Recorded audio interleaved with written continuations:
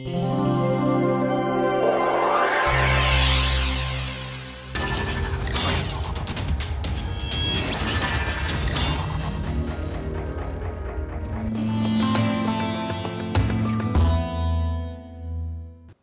so welcome back.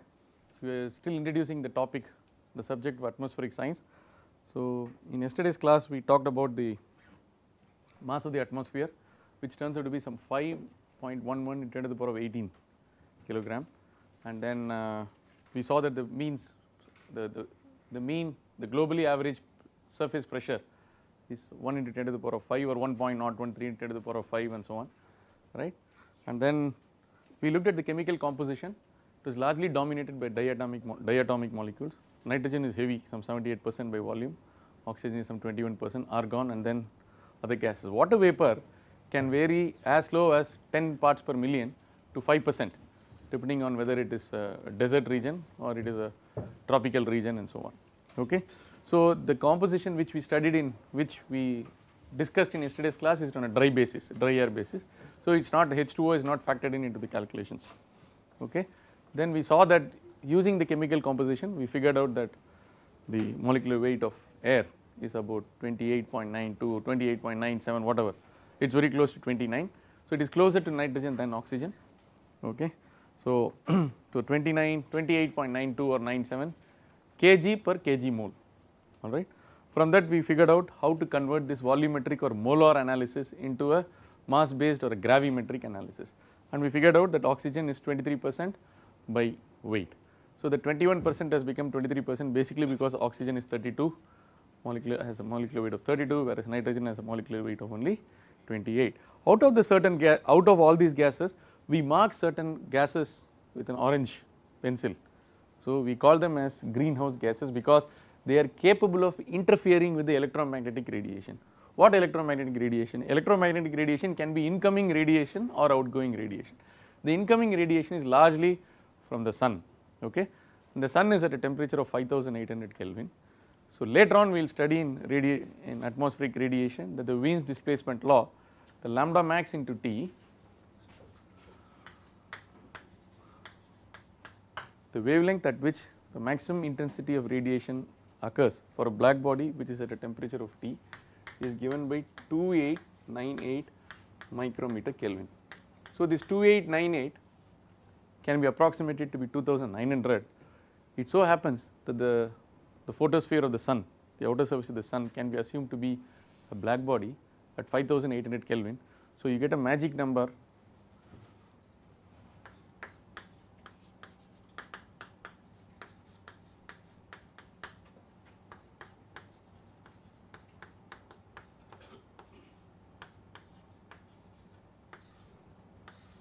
lambda max is half a micrometer it is beautiful because 0.4 to 0.7 micrometer is the visible part of the radiation. So that is why sun's radiation is very very important. And we are always trying to get this daylight lighting all our tube light everything we are trying to mimic the solar radiation. But of course this is not at 6000 Kelvin and so on right. So the incandescent bulb will be at a temperature of 2900 Kelvin. Therefore sometimes they say it produces more heat than light. Okay still it will illuminate. The incandescent bulb tungsten bulb is at 2900 Kelvin. But if it is 2900 Kelvin the lambda max is about 1 micrometer which is just outside the visible part of the spectrum. You are already getting into the infrared part of the spectrum. Do not worry about all these terminologies. We will flesh out all these terminologies as we enter into the atmospheric radiation chapter. So the incoming radiation is half micrometer. By the same token if the surface of the earth is assumed to be at a temperature of 300 Kelvin assuming this to be 3000 so the lambda max will be 10 micrometer. That is the radiation coming out of the earth right. So these gas molecules have got peculiar properties where they absorb they can pass they can allow radiation to pass through in one part of the spectrum. They do not allow radiation to pass through in the other part of the spectrum. And this is very important because the giving and taking is from bodies at different temperatures. Therefore it leads to imbalances and that is why we call them as greenhouse gases and they cause some warming and Uh, how much warming they will cause if carbon dioxide increases by so and so and all this that will be the subject of climate dynamics, climate science, climate change, climate dynamics which will be the last chapter of our course alright. Now so this is a brief overview of what we did in the last two classes. The, Continuing with the vertical structure we figured out that P equal to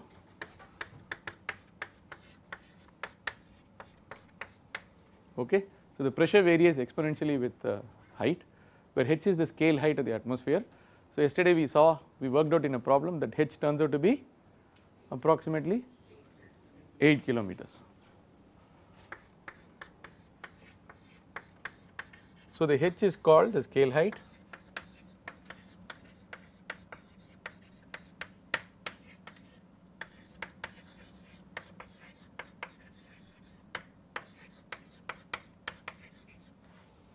the E folding depth.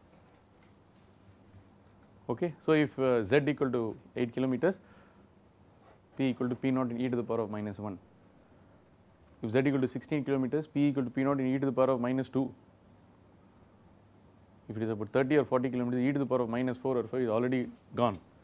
1 by 2.7 10 to the power of 4 will be high value. So, it rapidly decreases, the pressure rapidly decreases with height. There are two ways of plotting it. So, this by the way is called the Wien's displacement law.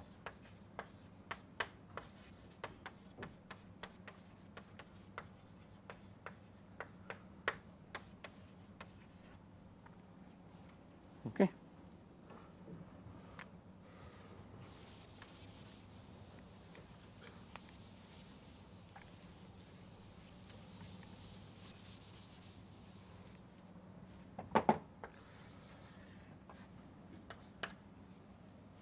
We said P versus height, right? Z. Uh,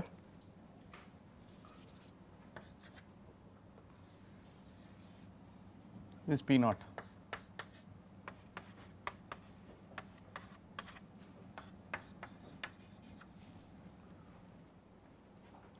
But this is an acceptable plot or the, the usual kind of plot in engineering, but in atmospheric science there is a peculiar way of plotting. What is that peculiar way? Pressure will be in the x axis, z will be in the y axis because z it is analogous to how it will be when you actually see right. So, from z equal to 0 to some height. So, we will interchange the coordinates and try to plot it. Ah, ah, ah, this is going to be useful.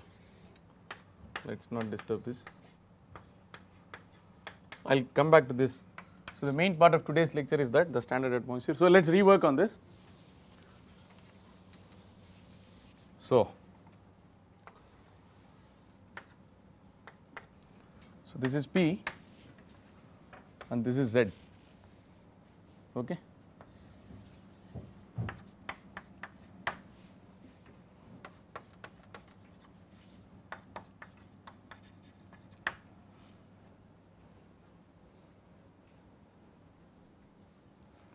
But this Newton per meter square is a very small quantity. It is too small for us, okay, and all this uh, you will get very huge numbers here. So, we work with some other units for pressure, okay.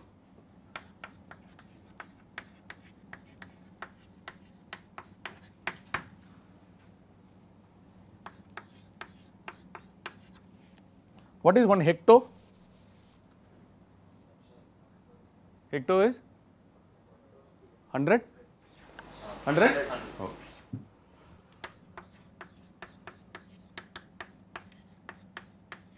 H pa, okay, hectopascal.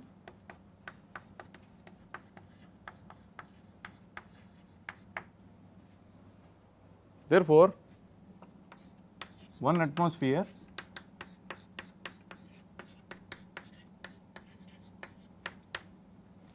is how many hectopascal? 1000 correct. So, you can rework this plot and say this hecto and start with 1000 okay then you can whatever 800 600 whatever. This is not to scale. Do not uh, try to prove me wrong. I am we are just trying to look at the qualitative aspects of this this fellow will be in kilometers. All right. And there is something which we use in uh, there is one more unit which we use in atmospheric science which is called the millibar. Okay. So, 1 hectopascal.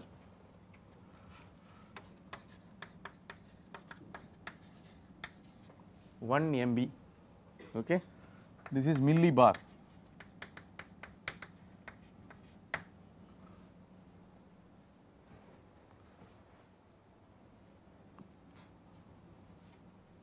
Okay? So 1 atmosphere is equal to 1000 millibar. Is it correct? I hope everything falls in place.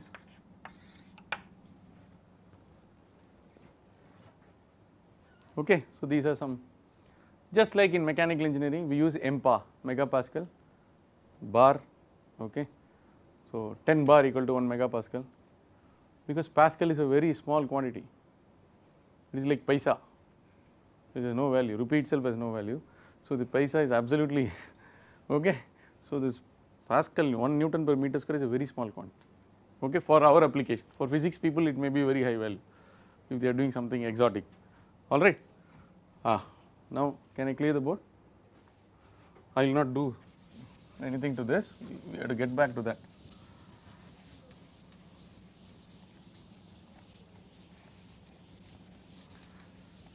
So, continuing with this uh, vertical structure, the rho and P uh,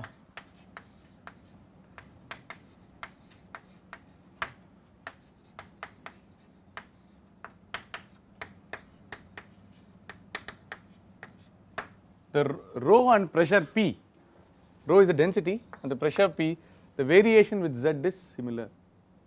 Okay. So, to a large uh, to the to a large extent rho and p are not functions of x and y. If you if you still go ahead and use a Cartesian coordinates x y z for the earth system, so rho p are not a function of x y which means it is possible for us to have rho is a function of z, p is a function of z only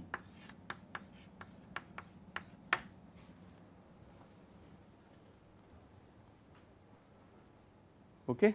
So, when we talk about the density and the pressure where we just call it as rho and allow for variations in rho and p only as a function of z then it is intrinsically implicit it is intrinsically implicit that you are carrying out a horizontal averaging and we are also averaging over time. So, it is average over a large time it is spatially averaged over a large xy. So, this means whenever, whenever I am saying the pressure is varying with z, the density is varying with z, all the other integrations are carried out and it is a mean value with respect to the other coordinates okay horizontally and spatially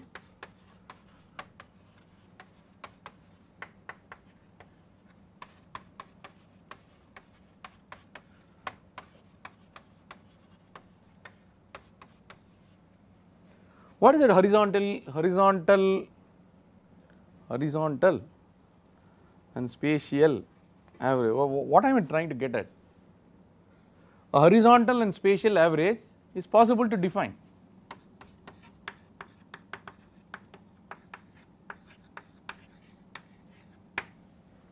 Which means we can think of a standard atmosphere which varies only with z and this standard atmosphere can be used in Africa, Asia, America whatever. So, that is the concept of standard atmosphere which I have given on the right side. Okay. So, I have a PowerPoint this thing also. So, take a few minutes and then please copy down this. So, this is the standard atmosphere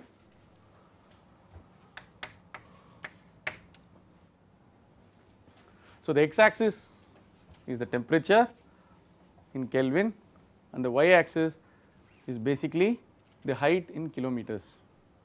So, we are interested only in about 0 to 100 kilometers as far as atmospheric science is concerned and the temperature range is basically 160 to 300 Kelvin. Okay.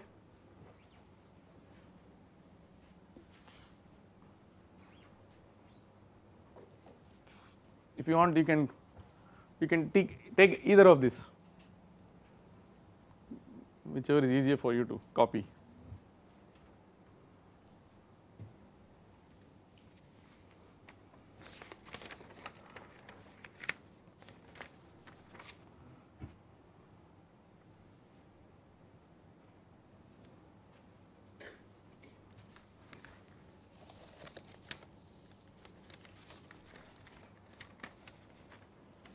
Done. Okay. Now if you see it has got something like a Z profile right.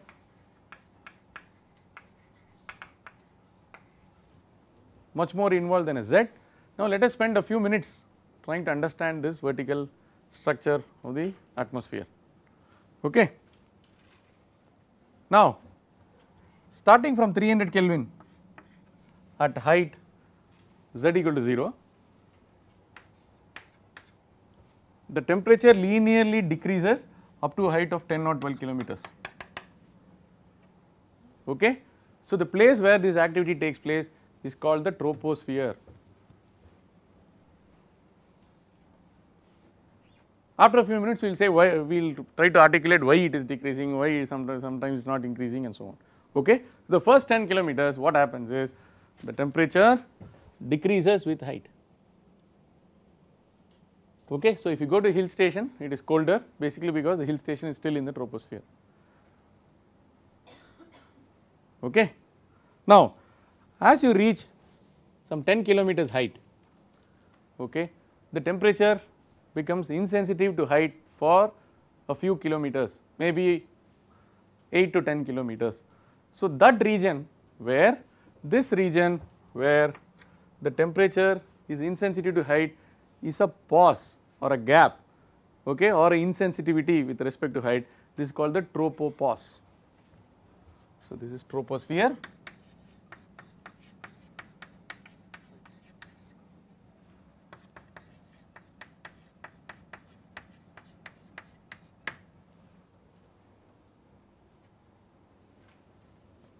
okay.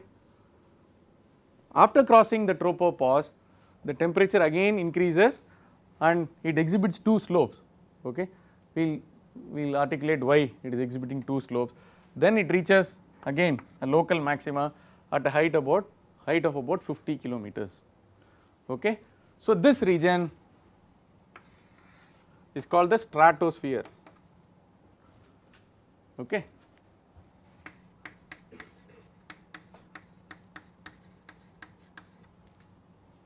Do not get uh, misled by the terminology stratosphere.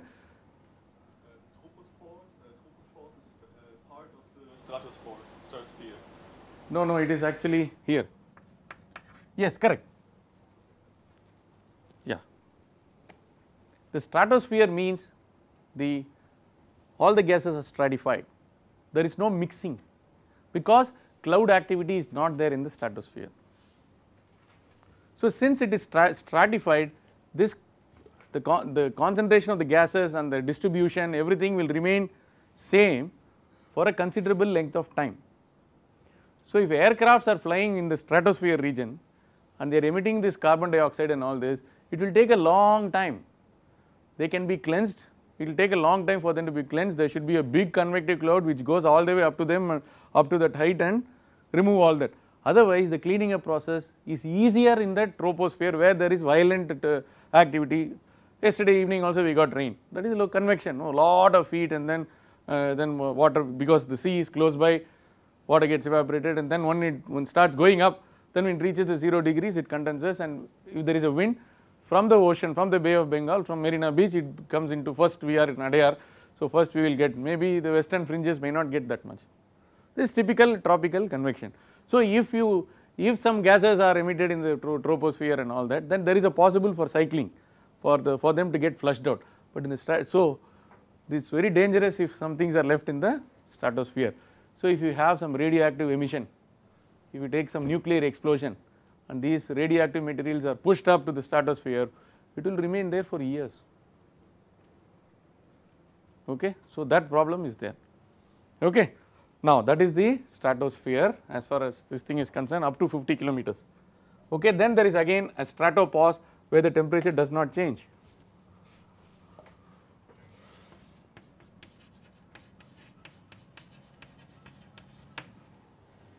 Then the temperature decreases again and then up to 80 kilometers. So, this is called the mesosphere.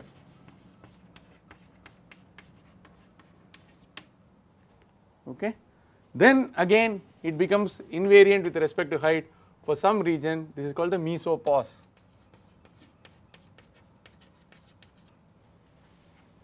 after this it will keep continuously after this it will keep continuously increasing with height. Then your regular funda of uh, it is getting closer to sun and all those things will apply. It will not apply in the first uh, silly question will be as you go up the sun's radiation will be less why is it cooler in Ooty or Darjeeling compared to Chennai? I mean a silly question right? But uh, it is why it is why is it a silly question? Because it is not completely determined only by the radiation. Okay? If you take a distance between sun and earth to be something Ooty and this thing will be only 3 kilometers difference. If you take the radiation 1 by r square it will it, it won't appear matter at all. So what determines the temperature will be the balance of winds moisture clouds and all this. It, at least in the first order of first tens of few tens of kilometers that funda of you are closer to sun all that will apply as you keep going up okay. So the dynamics controls the weather, the dynamics control the temperature distribution to a large extent, radiation will also control, but radiation plus dynamics will control the distribution in the uh, atmosphere. So this is basically the vertical structure. Now we will have to dig a little deeper into this. If you consider, shall we go to the other side? Okay, so I want to discuss something about this.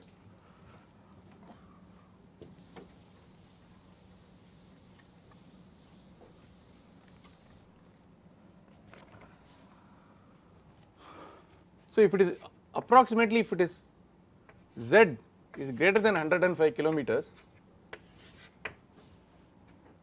mean path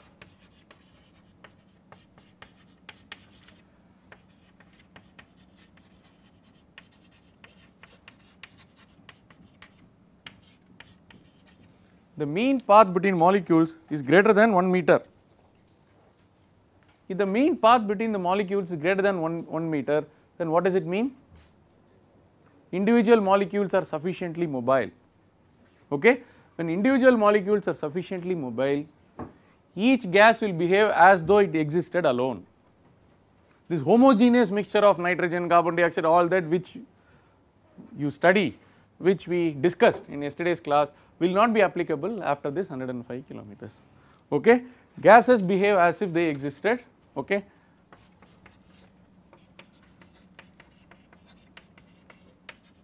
molecules are mobile, each gas behaves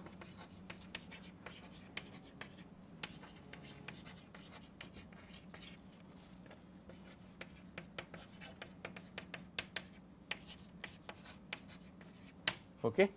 So, this 105 kilometer above 105 kilometer this is called that 105 kilometer is called the turbopause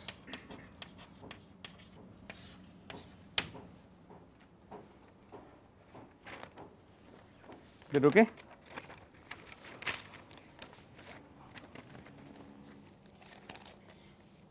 Now, what other things are evident from here? Any comments? What are the other things you can?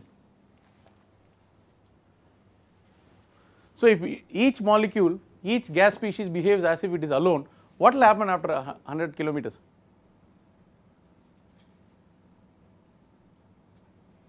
the lighter the lighter species has a chance to go up.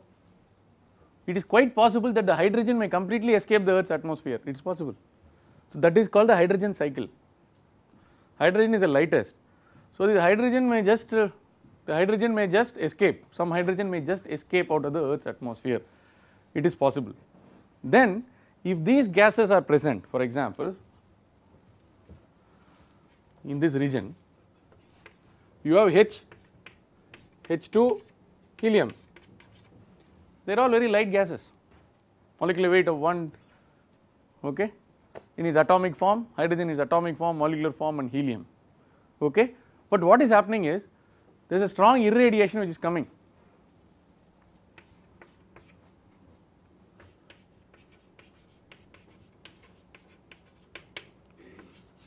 because of which there are two processes which are taking place photoionization and photo dissociation. Okay.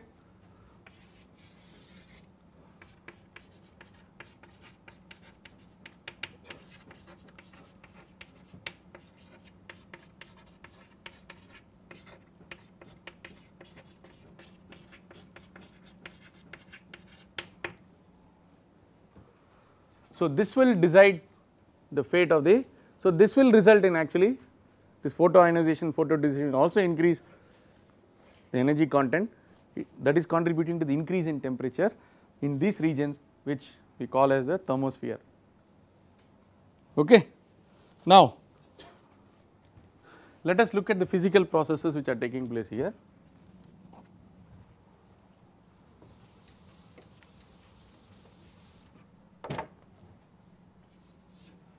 What about mixing? In the first 10 kilometers, it's strong mixing or weak mixing? Strong mixing, very good.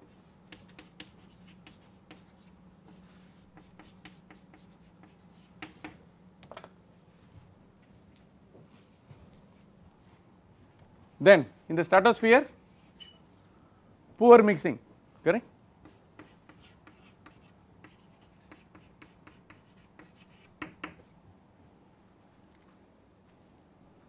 Okay. Now, why is the temperature decreasing? So, actually basically there is a radiation cooling also.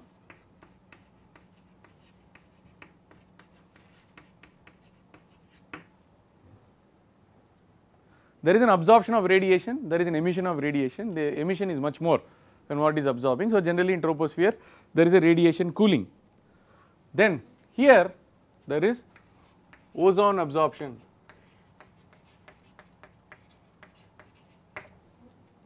okay. O3 absorption of ultraviolet radiation. That is happening in the stratosphere. Okay? And radiation cooling is also taking place. There is a competition between these two. The absorption overcomes this radiation cooling. Therefore the temperature increases in the stratosphere. Okay? This activity this absorption because ozone is not so much present in the troposphere, the heavy absorption of ultraviolet radiation by O3 molecules is not a big activity in the troposphere. So, the temperature increases, but even in these cases there can be regions where temperature locally increases instead of decreasing. Such things are called local temperature inversions. Okay? Suddenly it may go like this. Okay within the boundary layer this may cause some so this is called the Ramdas effect and Ramdas layer Ramdas effect and so on. Some people have researched this particularly during night time some temperature inversion takes place or in early morning dew and these things so there are some conditions which are created. So this uh,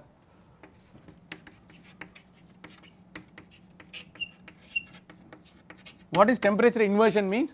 If generally in that layer temperature is decreasing with height locally suddenly it increases with height somewhere then it is an inversion or it is supposed to increase with height suddenly it decreases it is an inversion okay. This temperature inversion is common in the troposphere in desert regions in okay. So this temperature inversion is also some people say is responsible for the reverse swing and other things in cricket which is available on certain which can be effectively used only under certain conditions it works right you have studied that. So that if you want you can go to science direct and look at the pages I do not know whether it is extensively researched but there is a particular amount of moisture dew and temperature conditions such that there is an inversion then if the bowler does the right kind of thing he can get some surprise swing okay which is called the reverse swing okay. So if you are interested in all this there is a separate subject of study called sports aerodynamics how a go golf ball, okay, how the dimple in the golf ball increases or decreases. So, there is a separate field of study called sports aerodynamics, okay, you can specialize in that if you want later on. Okay. Now, what about this region? Okay. So, there is a decreased solar, there is a here, uh, sorry, here there is a decreased solar heating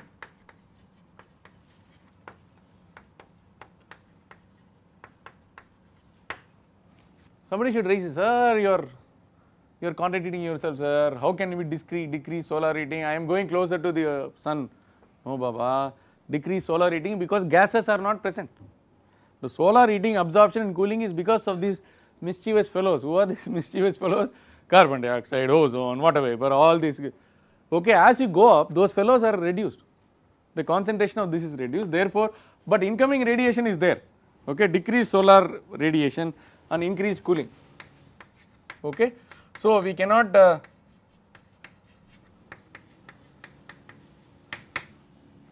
if all this logic does not apply to the only thing is basically if you do a measurement using a balloon you will get this and second if you do the radiative transfer simulations on your computer you will get this. Therefore, this profile is indeed correct. Now we have to have now to be at peace with ourselves we need to have a logical explanation of why this happens. So, this is an explanation there could be a better explanation that is called theory okay there could be better explanation but we know that if you do the radiative transfer model if you decrease the concentration and all this you can get you can simulate a different profile which actually confirms that our hypothesis that there is increased cooling there is a decreased cooling uh, there is O3 and all that is actually correct. So, by, by systematic studies we can show that alright. So, this is a very important this is very very important okay. So, this uh,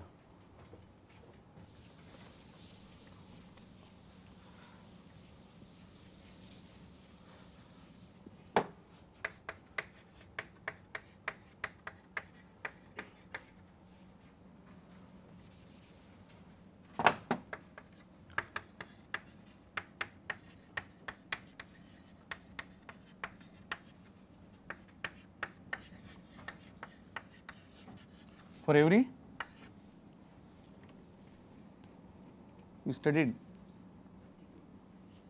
Temperature decrease by 1 degree centigrade.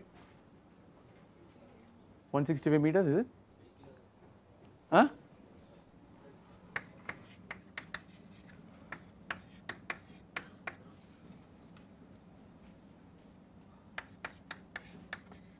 Of this order right? It is actually called gamma okay. So, this gamma is basically dt by dz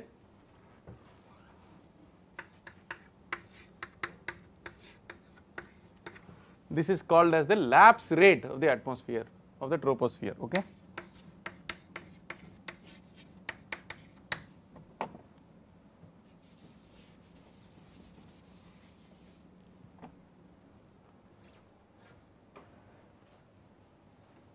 I have not drawn properly. It is okay. You correct it huh? it is a standard atmosphere. There you may get 9 or 10 or we will sort out all these things a little later. Okay. So this is about yeah. What I have done is 6.67 how much do you get per meter? Point? It's like 80 Kelvin What happened? Now let us start with huh? 80 Kelvin per 10 kilometer. So you wanted a 70 right? So I should have started at 290 it's okay. You can adjust a little bit. this is only I told you it's only approximate right? You correct it now post facto. Anyway it's good that you are thinking. What he is saying is he is getting 80 Kelvin per but the mistake he made was the mistake he made was he took it as 1 kilometer. Correct? This 10 kilometer. Yes or no? Ah so let it uh, get tulped 80 k 80 k. Divided by 10 no so it is 8 so i am off by you can cut some marks for me. I am off by i am off by some 1 or whatever. All right fine.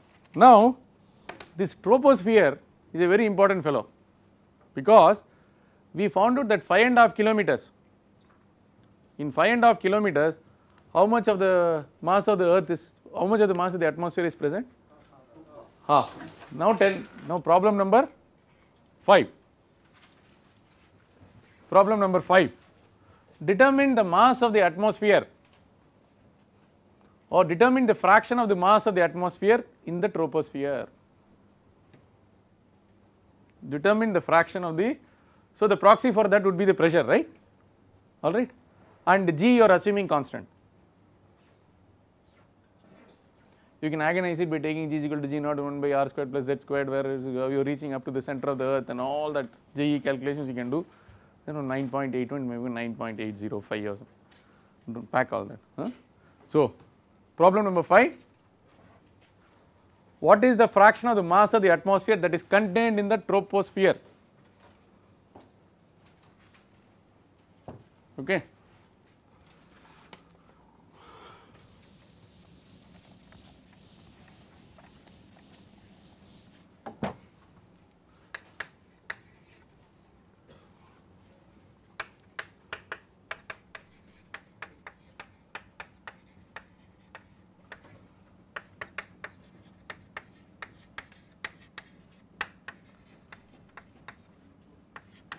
How much is it? Using this P by P naught, isn't it? Ah.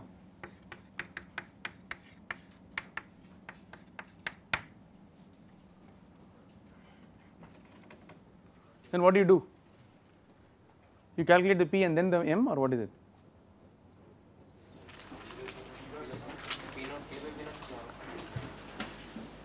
Are you going to work out like this or? How will you find out? What is M?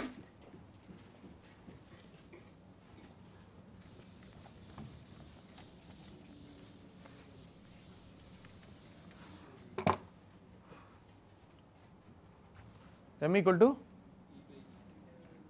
integral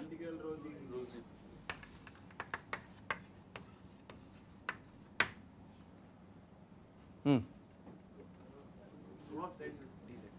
rho dz okay then. 0 to 10 okay fine. So fraction is?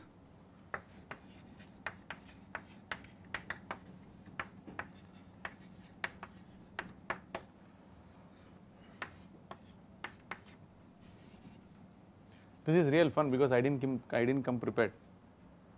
I just shot out the question. I hope we get the answer. Okay, rho dz divided by 0 to infinity. Very good.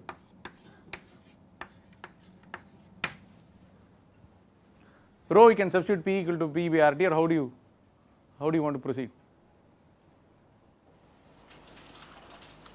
Volunteers? Anybody who got this? How did you calculate the mass? Huh? But T will be a problem, no? That uh, lapse rate, we will pack the lapse rate or? Hmm. How did we calculate the mass in the first class?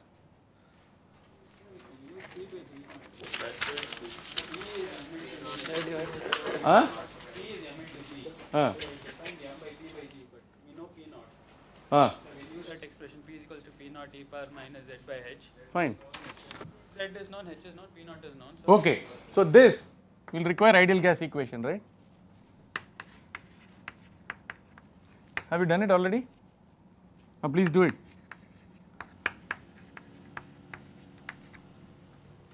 Ah, I can erase this now.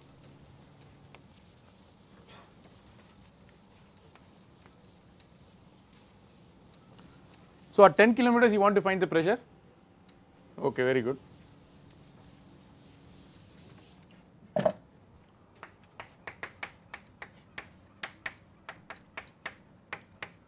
P naught you are taking 1000 okay.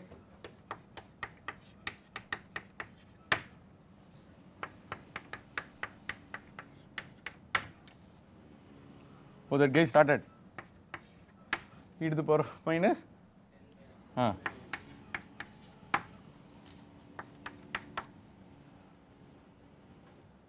How much is it? Yeah, please.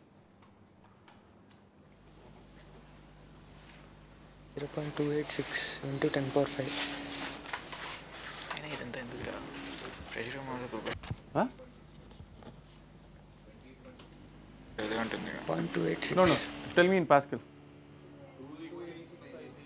Two eight six five zero.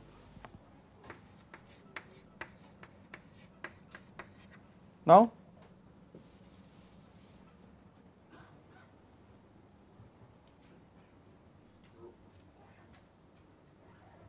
How do you proceed? It's not as easy as you think. Or is it easy? Ah, then? Huh? P by P naught. you just want P by P naught? You can get it before. Huh? Yeah, okay. So I already told you that rho and uh, P follow a similar variation. So P by P naught is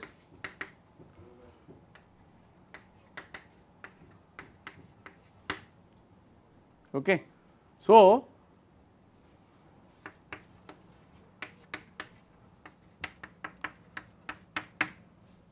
is contained the first 10 kilometers, correct? Correct me if I am wrong, is it okay? Hmm.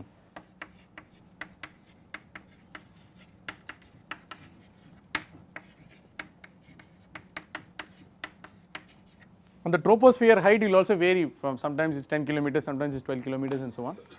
So it is fine. So generally the thumb rule is uh, the tropospheric air accounts for 80 percent. The tropospheric air accounts for 80 percent of the total mass of the atmosphere. Okay. So the cloud processes play a major role in the troposphere. Okay. Precipitation, cloud processes and all this play a major role in the troposphere. The cloud processes play a limited role in the stratosphere. That is why if you dump something in the stratosphere, it is going to take a long time for it to cleanse. Okay. Uh, heating, heating by O3 molecules, okay. Heating by O3 molecules is the highest around 40 to 50 kilometers of the earth's atmosphere.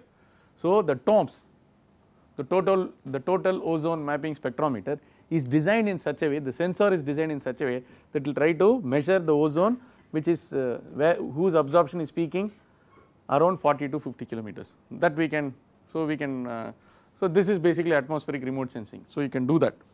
Okay. Then finally as h increases the temperature keeps on increasing. That is called the thermosphere. Okay. So in this thermosphere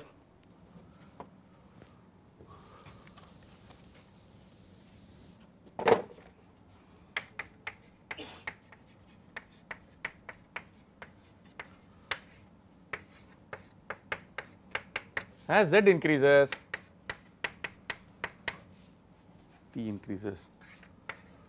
So this is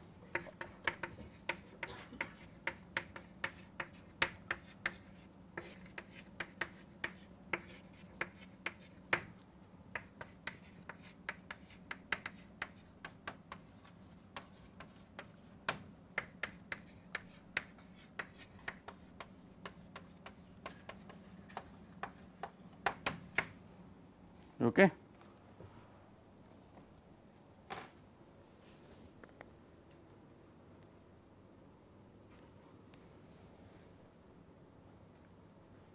all right so this is the vertical structure of the atmosphere. The vertical structure of the atmosphere is preserved throughout the globe okay? But at any given level in the atmosphere at any given level in the atmosphere the temperature varies with latitude. Please do not forget that. At any given height the temperature varies with latitude. That is why northern hemisphere Europe is colder than the same 500 meters height the temperature will be much lower in Europe compared to Chennai for example okay. So the, the structure remains the same but within a particular z at a particular z the temperature varies with latitude I will write it if you want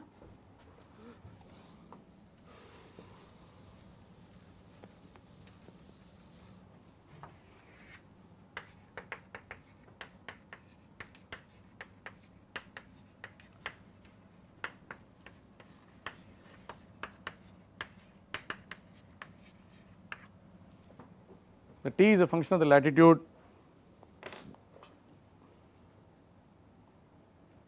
hmm. now if you take what is called as a climatological mean what is a climatological mean? You send a balloon get the temperature versus height in that place. Monday, Tuesday, Wednesday, January, February up to January to December, January to December, January to December you do it for many years. Then you take an average that is called a climatological mean you send the same balloon in Chennai, Nungambakkam or Meenambakkam in Chennai, the average over many years is called the climatological mean. Okay.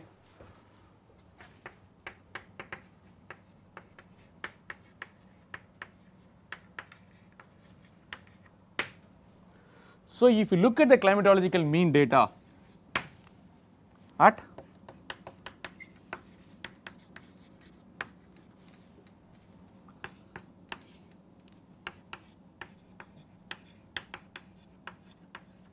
okay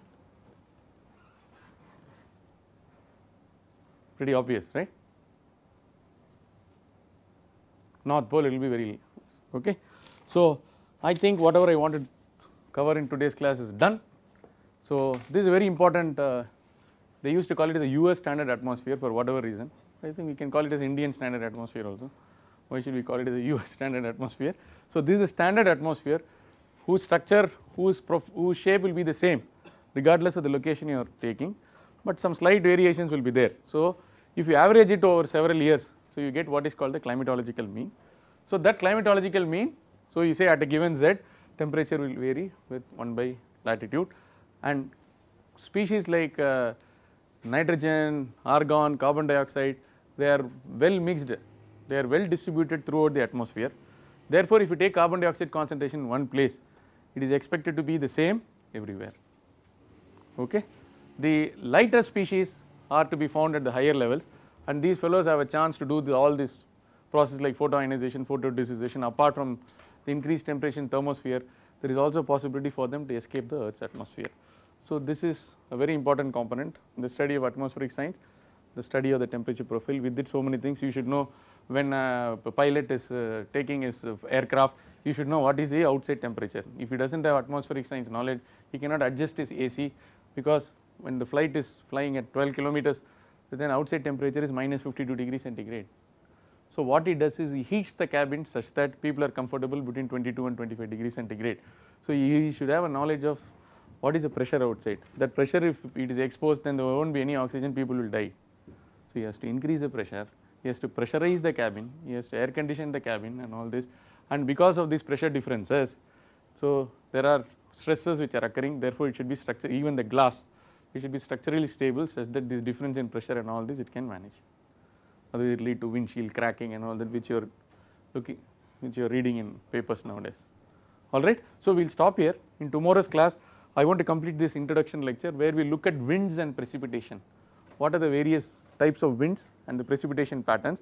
With that this first chapter will be over. Then we will go to the second chapter where we look at the various components of the earth's climate system including the mantle, the earth's crust, the ice content in the earth and then we leave the atmosphere alone because after after this chapter is over the remainder of the course is only on atmosphere okay.